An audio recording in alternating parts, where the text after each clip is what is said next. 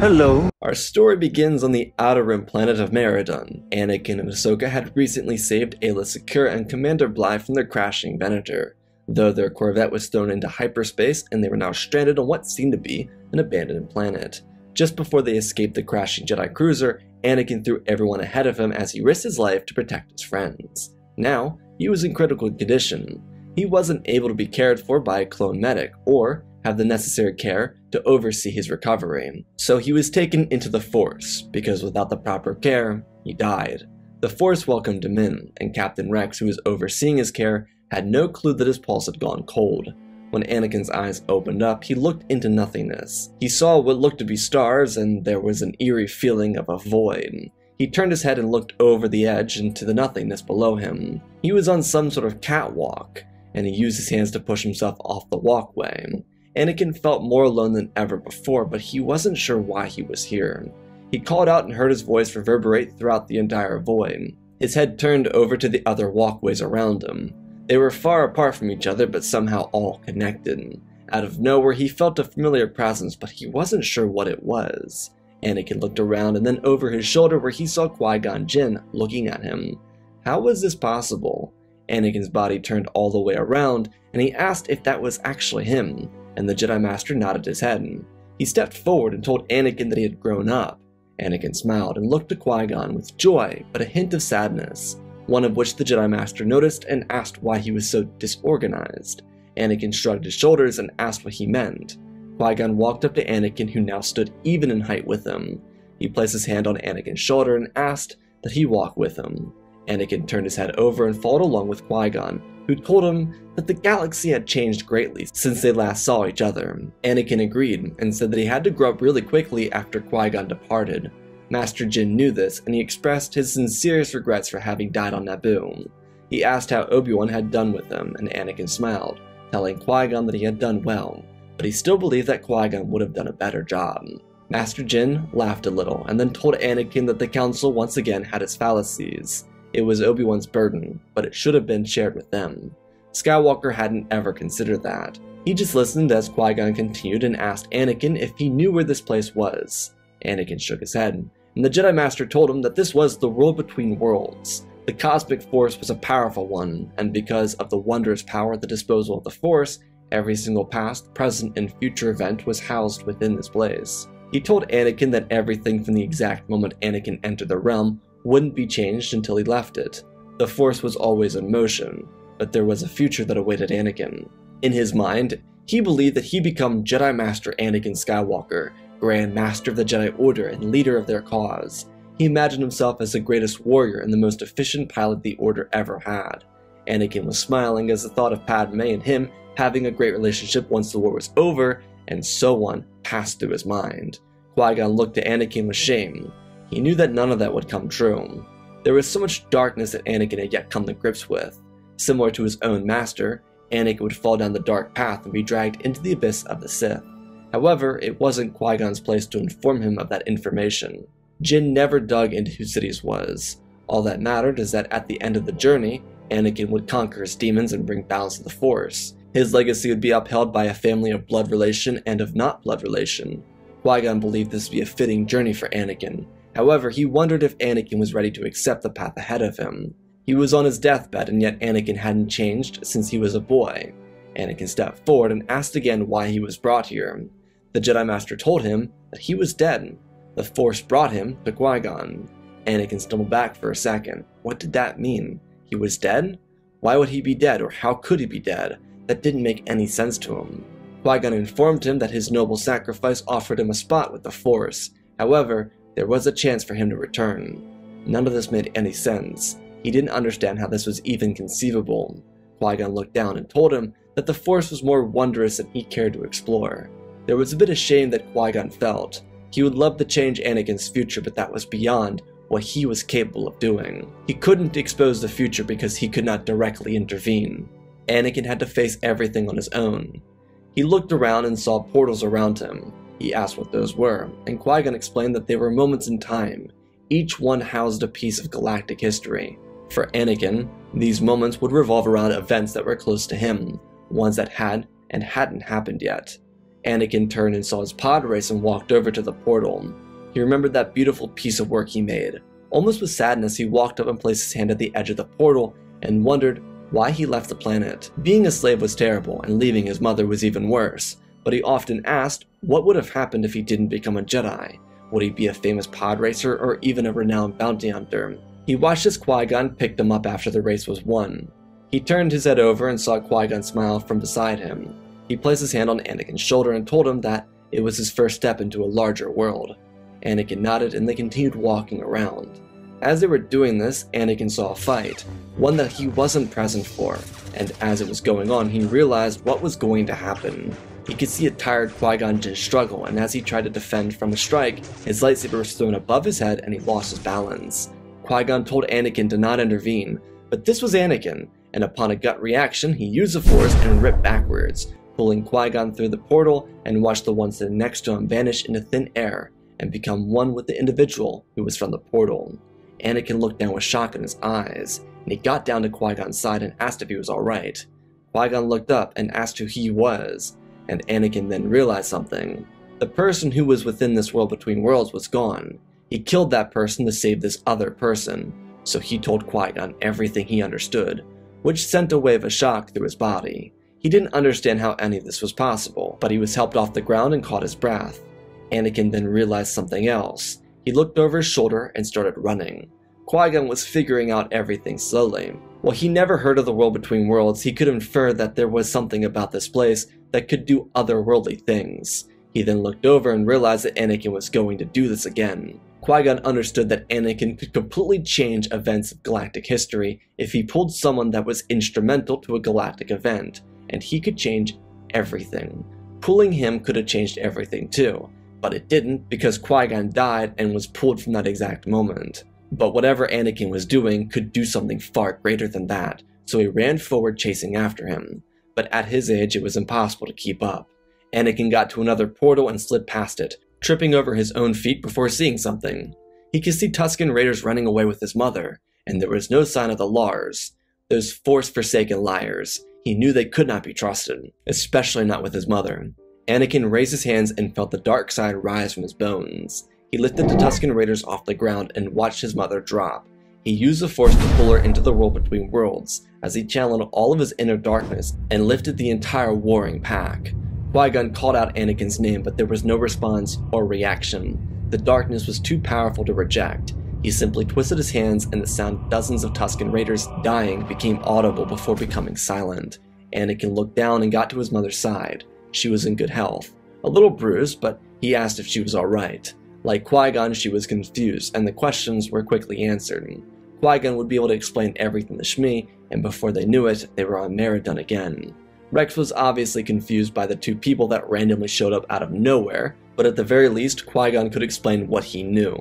He just had a million questions himself, one being, who was the guy wearing semi-Mandalorian armor? Rex could answer some questions, but for Qui-Gon and Shmi, everything was simply confusing. They didn't know why they were here or why Anakin was suddenly injured but breathing again, but not even Anakin had the proper explanation for any of this. What followed was the entire mission on Maridun, where the Jedi would protect the Lurmen and escape from the planet themselves. However, there were more pressing issues for the Jedi. Ahsoka wasn't familiar with Qui-Gon, but she did know of him. Now he was here in the flesh, and there were many unknowns about the situation. When they returned to Coruscant, Anakin, Qui-Gon, and Shmi went to Padme's residence. Anakin was able to speak with both Qui-Gon and Shmi before they got back to Coruscant, so he could explain the situation to them, which they were all pretty cool with. Anakin did have a chance to call Padme and tell her that something happened, and how somehow his mother was back to the living. This didn't sound real, but if it was, Padme was very welcoming. Shmi could stay with her until they found her a new home to call her own. There was also some other questions and debates that awaited Shmi's return, but they would have to wait until that moment came.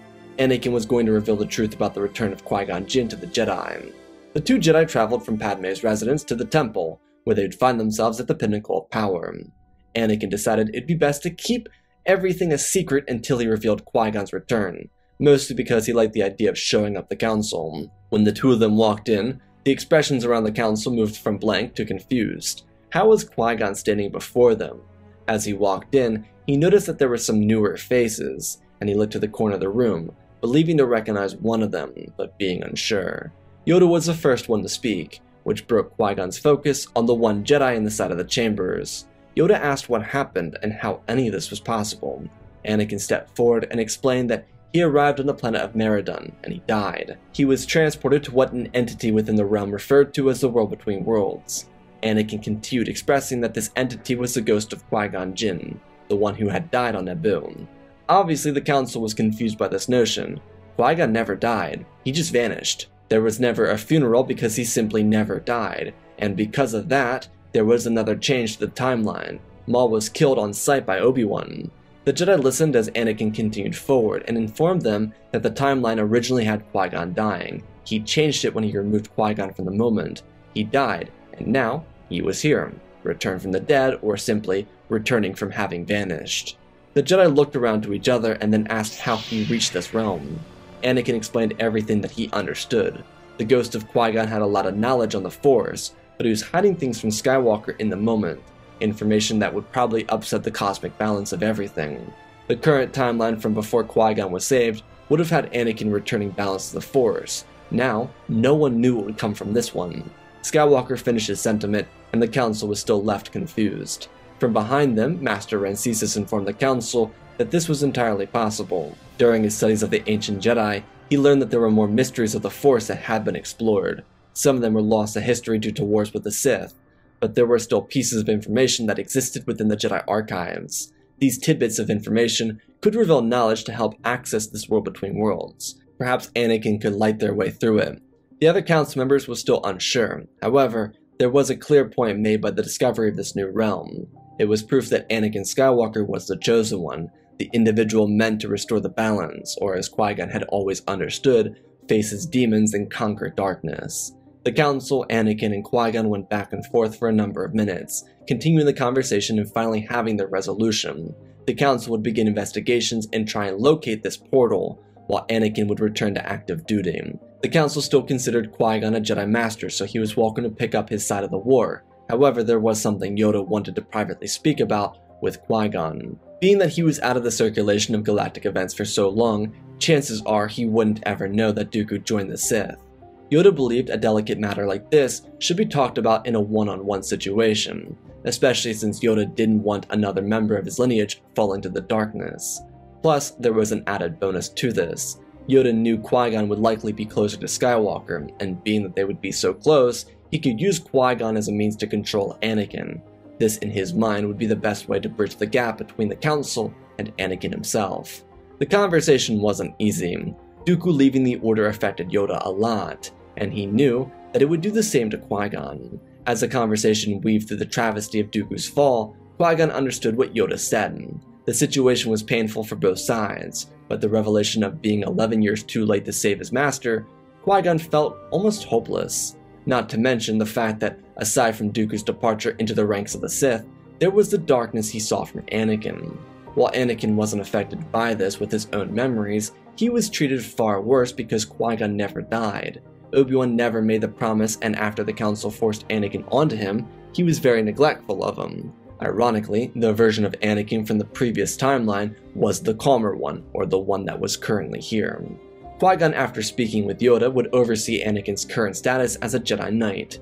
He didn't want to just pounce into a situation he wasn't familiar with, so he allowed Anakin to be himself. But aside from the flare-up he saw in the realm, there was no sign of Anakin being a hostile person. He seemed happy, even with the war going on. His training of Ahsoka was unorthodox, but she thrived off of it.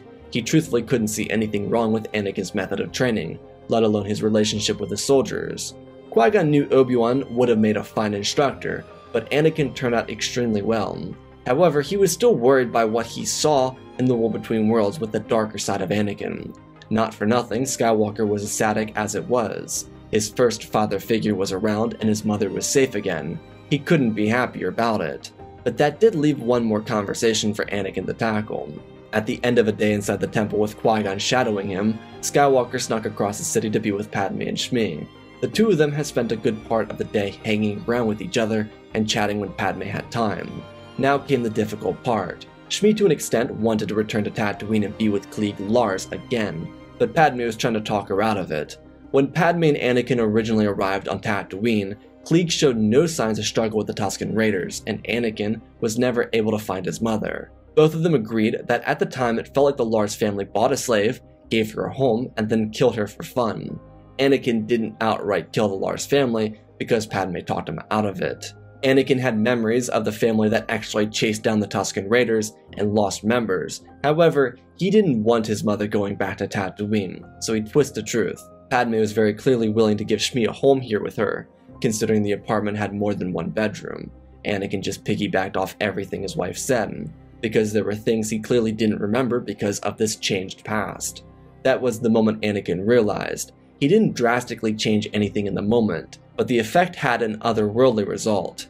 Things were different now because of his saving of Qui-Gon and Shmi. It didn't turn the galaxy upside down, but it did make Anakin question what else could come from this world between worlds. Sure, changing the past was bad, but what if he did something drastic? He knew he couldn't be a part of the plan to get into the world between worlds until they uncovered the secrets, but he was now curious. Regardless, he continued spending the night with Padme and his mother, which just sent him over the moon in happiness. He couldn't believe that his mother was alive again, and he couldn't be at more peace. Padme just loved seeing the radiant smile on Anakin's face. He was so at peace and happy with everything. The following day, he informed the Council of his thoughts and his theory that if they could locate the Sith Lord, they could use the World Between Worlds and remove him from a period of time without having a drastic effect on the galaxy around them. Initially, they were going to find who the Sith Lord was, go to him as a child and pull the trigger, if you will, but now they realized that, at least in accordance to what Anakin was saying, it could mess everything up. But wouldn't that theoretically be better? Anakin hadn't considered the positive sides of it. If the Jedi killed Palpatine early, then Sifo Dyas, Yaddle, Dooku, and so many more would be safely protected within the light side. There would also be no Clone Wars, and there wouldn't be the fight to save the galaxy. But there would be one major factor that was unknown to everyone in these discussions. Anakin would simply cease to exist. Removing Palpatine from the picture meant that Plagueis wouldn't be able to work in tandem with Sidious to influence the midichlorians to have a reaction, which led to the creation of Skywalker. What made matters even more strenuous is that without Palpatine, the former Sith Lord, which was Plagueis, would still be on the loose. The Jedi didn't have any ties to Palpatine, but the Sith were at least semi out in the open with the Clone Wars going on. If Palpatine was gone, they wouldn't be able to find the Sith Lord until they made their own appearance and without their knowledge, this could do a number of other things to the galaxy. Maul wouldn't necessarily die in the current timeline, as he could potentially be the apprentice or any number of mind numbing scenarios. Anakin was adamant that they reconsider their thoughts on approaching the world between worlds. The Council agreed that Anakin should be a part of the process, however, if he wanted to avoid doing what they were going to do, then he didn't have to be involved. The Council wasn't trying to be cruel, but there was no point in having this discussion. How bad could it truly be? If they found the Sith Lord and traced it all the way back to when the precursor Sith Lord found him, then they could kill two Sith with one stone. Didn't matter. Anakin was a little worried about the idea, but the Council made its decision. He couldn't change their minds. Skywalker decided to butt out and focus on the war effort. The Council promised they would inform him once they located a portal to the world between worlds and when they found the Sith Lord and who it was. At this point, his responsibility was to lead and search for Sidious. Qui-Gon had a theory though. He wanted to assist Anakin with his training, but if he could find and talk to Dooku, perhaps he could talk him out of the darkness. If not, then at the very least he might be able to figure out who Sidious was. Anakin was concerned with the idea, but Qui-Gon put those fears away. He told Anakin that no matter how far Dooku may have fallen, he would never hurt him. Dooku always responded to Qui-Gon when he acted out of place. Maybe it was their dynamic, Maybe it was just who Qui Gon was, but he had to try. Before he left, he told Anakin that no matter what, whichever circumstance it might be, whether it be his back up against the wall or the fear of losing a loved one, choose the light. Anakin didn't understand, but as Qui Gon and he walked to the ship, Qui Gon informed him that there was no gray. There was light and there was dark. He told Anakin to always choose light. It would save him and those he cared about from his greatest fears. Anakin didn't understand this at all, but Qui-Gon wished that the Force be with him, and he looked forward to their next meeting. Anakin and Ahsoka were sent back to the front lines. The Jedi began scouring the galaxy for Sidious, and Qui-Gon Jinn started his search for Count Dooku. Anakin continued to ponder of what his instructor told him, and he did learn that Obi-Wan, while very loving to Anakin, was a lot more standoffish than the one he was used to from the previous timeline. Skywalker never thought much of it, but he realized that it likely came from the events that transpired on Naboo in this new timeline. The war effort didn't change though. Anakin kept what Qui-Gon said at the forefront of his mind, and started to focus on it the more he went to battle. He realized he was going towards darkness, especially on the battlefront. The challenge for him then became resisting the pull of the dark side. If he could resist it, then perhaps he could overcome it when it presented itself. The Jedi got no leads on Sidious, and they continued searching, but their unorthodox master Jinn found Count Dooku and was welcomed onto Serenno. It was a bit of a bittersweet reunion for the two Jedi. Dooku was very prideful, showing off his palace and his droids and what kind of power he possessed, and Qui-Gon walked with him, quietly. It was heart-wrenching to see how far his instructor had fallen. Dooku used to be one of the most respectable Jedi he had ever met, and now he was greedy. Qui-Gon told Dooku that this wasn't him. He wasn't acting like himself, but Dooku didn't care. He told Qui-Gon that it was too late for this conversation. The war would change everything, and it would be for the better. He pleaded with Qui-Gon, telling him to join him, and together they could destroy the Sith. As Qui-Gon was about to leave with a disappointed heart, he heard the Sith word, and so naturally, he asked Dooku if he knew who the Sith Lord was, and Dooku nodded his head, informing Qui-Gon that he was Sidious's apprentice. But Dooku didn't believe in their religion, he only cared about what they could give him in the galaxy. Qui-Gon remained skeptical, but he could wiggle his way into some kind of information. Dooku was seriously trying to earn another ally. Ventress was the only individual he actually cared about, and that was hard for him. Dooku tried to commit so hard, and he had done atrocious things to the people of the galaxy, but with Qui-Gon by his side, he would at least feel validated in his decision to leave the Jedi Order. The war continued on for months. Qui-Gon and Shmi's return happened within the first few months of the war, so there was a lot more to go. Qui-Gon could take advantage of Dooku for longer and get the true name of Palpatine. The painful thing for Qui-Gon is he had to sacrifice. He had to let go of what it was that he chose for himself. He spent most of his life rejecting the darker attributes that he could have learned from Dooku, and now he was forcing himself to use something that made him disgusted. Qui-Gon got physically ill every time he used the dark side, and the more Dooku pushed his former student, the more he saw what it was doing to not just himself, but his Padawan. Jedi weren't supposed to love, but Dooku loved Qui-Gon with all of his heart. To see Qui-Gon suffer and struggle made him rethink everything, and finally, one day, he snapped. Dooku confessed to Qui-Gon that it was Palpatine. He was the one behind everything. Qui-Gon immediately informed the other Jedi, and then began his instructing process, one in which he could save his former teacher from the dark side, not just from his crimes, but himself. Qui-Gon knew that his master deserved to pay the price for what he had done to the people of the galaxy, but he needed his master to return from the dark side. This wasn't Dooku, and it disgusted Qui-Gon wholeheartedly. At least he'd go to prison as his true self.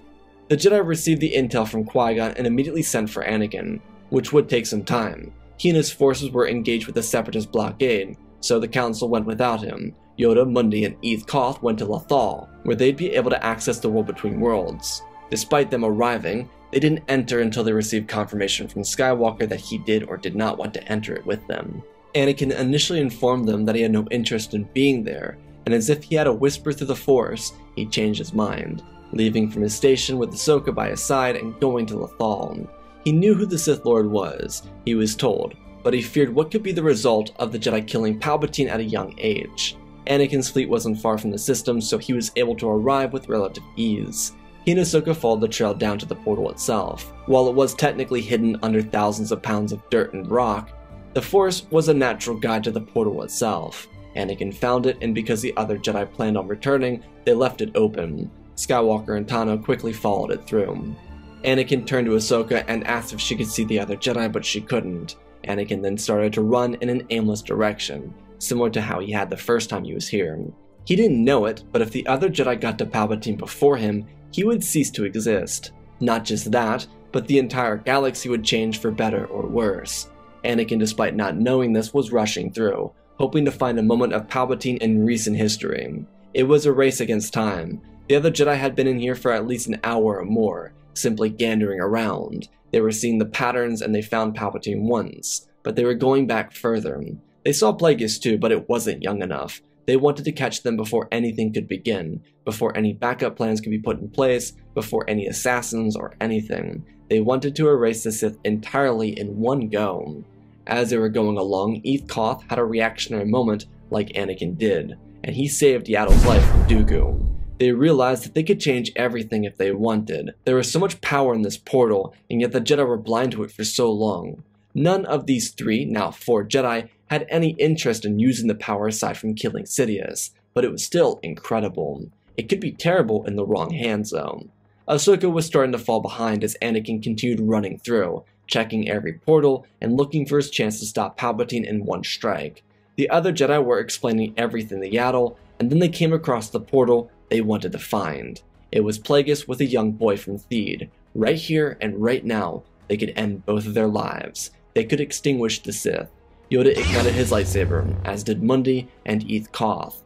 All they had to do was make the proper strike. As Anakin and Ahsoka were running, she lost sight of Skywalker, but then saw the other Jedi. She would never make it to them, so she tried yelling into the void, but it was impossible to hear her.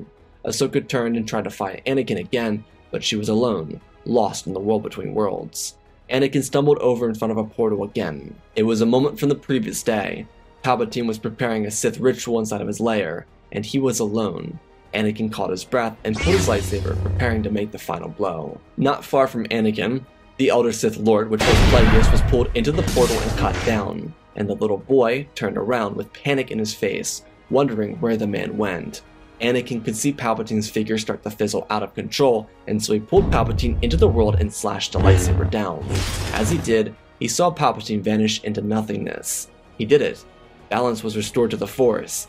Anakin took a deep breath and started back to where he came from. He eventually ran into Ahsoka, who was very happy to see him, but noticed that something was off. She asked if he was feeling alright, and he smiled telling her that he had never been better. They saved the galaxy. As they neared the exit to the portal, they saw the other Jedi. It was a little relieving. They brought balance to the Force, and they finally could restore peace to the galaxy. But as they started for the portal, Anakin realized that he couldn't continue going. As he started forward towards the actual exit, he was prohibited. The Jedi all turned around and asked what happened, and then within an instant, he realized it all. He had been right. If they killed the younger iteration of Palpatine, the galaxy would be changed drastically. Anakin was now more than the Chosen One. He was a being, an entity of the Force, if you will, one that could travel between worlds at will and be by the side of those he loved and cared about most with a simple thought. But he'd be lying if he wasn't scared. He didn't know how he could handle this, and he was almost an emotional wreck, but he could feel everything. He could know everything that ever happened within an instant.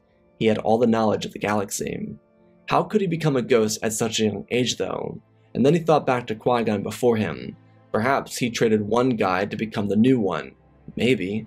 He had much more to understand, but his journey with the Jedi was over. His journey as Ahsoka's full time instructor had come to a conclusion. It did hurt his heart, because he could never be with Padme again, per se, but he could always be with her. The rash action of the Jedi did this, and he was upset but it saved the galaxy from the Sith. So instead of being spiteful, he took what Qui-Gon last said to him and chose light over dark. He told the Jedi to go out and sow peace into the galaxy, to be the bringers of light that they were always meant to be, to chase freedom rather than neglect it. They looked to him, and Ahsoka was the one who didn't want to leave. She sadly had to be pulled away, but Anakin told her that no matter what, he would always be around to leave a guiding hand. And then they vanished from his sight, his heart fell into his stomach, but there was something more. The priestesses of the Force spoke to him and surrounded him. Serenity, joy, anger, confusion, and sadness informed him to not lament the world he left behind, but rejoice in what he left for it. Anakin didn't understand, but he was shown. The Clone Wars never happened. Dooku and Qui-Gon were a part of a larger movement within the Jedi Order, one that reshaped everything into a modern one.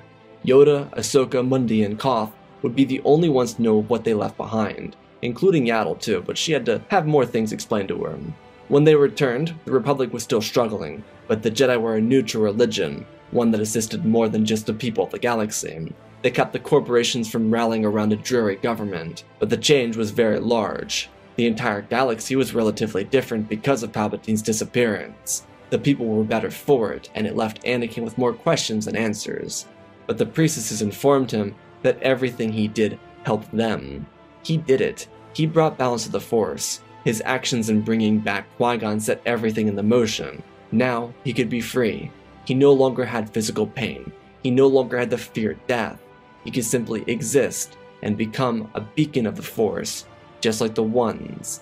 Anakin had many questions, and he would follow the priestesses to learn all the answers. Despite how confused and even sad he was initially, he found peace with it really quick. He saw his sacrifice as the one that would inevitably come, as he could see from the previous timeline, the one where he became Darth Vader and nearly killed his son and daughter in his lusting for power. While Luke and Leia may have never been born in this new timeline, he still had his legacy being passed on. Ahsoka, Yoda, Koth, and Mundi remembered Anakin, and they never let his sacrifice be forgotten. Ahsoka would tell Yaddle of Anakin's stories, and as Yoda passed on, leaving Yaddle to rise to the rank of Grand Master, with Ahsoka eventually filling in the rank of Master of the Order, they ensured the galaxy that Anakin sacrificed himself for never went to waste. Ahsoka's training would be completed by Qui-Gon, and she'd pass on everything she learned from both Qui-Gon and Anakin, and always feeling his presence and knowing that her master was watching over, always prepared to be an inspiration for the next generation of Force users in the new galaxy. And that, my friends, is our grand tier request. Again, special thanks to all of our patrons, Benjamin Wells, Janko Fett Clone, Ben Ingram, The Big Red Pure Mark, Diamond Constant, Darth Nemesis, Lord Tibbs, CC2024, Galvin Gaming, Tristan Mandalore, Sir William 1767, Darth Revan, Grandaddy Bane, Laliand, Sky Guy, Penguin, Cullen Rooney, Sharkman Dory, RJ38, Nick, Michael Erlanger, The Last Jedi, Apollo, Weewu 670, Annika Stank Runner, CT7567, Toaster Oven, Oz of Oz, Darth Nox, The Eternal Padawan, Joshua Tem, Johnny DeGuin, Sith Skeleton, Jedi Sloth, Mr. Yeet Gamer, Lord Cali, Gunley 66, Mammoth Studios, Anakin 003, Lord Draken, Force League Star Wars, Airbus, Rex Wolf, Man 3 First Names, Dark Saint 46, Baron Joshua, and Luke Denwing for supporting the channel. Smash that like button, support me in other ways, go check out the Patreon, super cool things on there, new announcements coming soon. Otherwise, let's talk about this story. The idea of having Anakin almost trade places with Qui-Gon and become what he is in canon without having to become Darth Vader kind of felt natural in a weird way. I wanted the Jedi to still act as the Jedi do in canon, which is acting haste, acting almost recklessly, and that actually having an effect on Anakin in a positive but negative way. And so he's not able to return because they act in such a way. Because simply, Anakin could have killed Palpatine and everything would have been fine from that timeline, but because the Jedi acted their way, they changed everything. So in a way, it's to question or see how the Jedi do the right thing, but do it in the wrong way, kind of. So anyways, I hope you all enjoyed. I love you all, spread the love, and always remember, my friends, may the Force be with you.